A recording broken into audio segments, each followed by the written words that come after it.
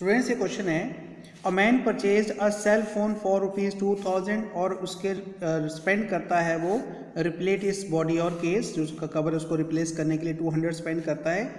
If he sell the cell phone at twenty five hundred rupees find the profit और loss percent तो हम यहाँ पे देखते हैं कि उसने खरीदा कितने का? टू थाउज़ेंड का वो खरीदा और उसके वो ओवरहेड एक्सपेंसेस जो उसने उसका कवर चेंज किया है, वो टू हंड्रेड रुपीज़ लगाए। तो एक्चुअल कॉस्ट प्राइस उसको पड़ा, वो कितने का पड़ा? जो सीपी था और उसने जो ओवरहेड एक्सपेंसेस लगाए तो ये बन गया ट्वेंटी टू हंड्रेड का।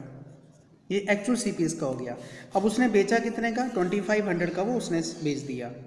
तो उसको देखिए खरीदा था ट्वेंटी टू हंड्रेड का और बेचा ट्वेंटी फाइव हंड्रेड का, उसको प्रॉफिट हो गया। प्रॉफिट है S P minus C P तो प्रॉफिट हो गया उसको थ्री हंड्रेड रुपीज़ का, दोनों को सब्ट्रैक्ट करेंगे।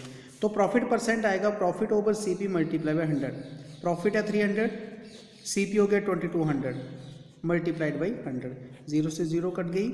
तो यहाँ पे हमारे पास अगर इसको हम काटें टू के टेबल पे one hundred fifty over eleven तो ये हमारे पास ये आएगा one hundred fifty over eleven और जब इसको डेसिमल में कन्वर्ट करते हैं thirteen point six three percent ये जो है हमारे पास इसका प्रॉफिट आएगा ये इसका आंसर है। Thank you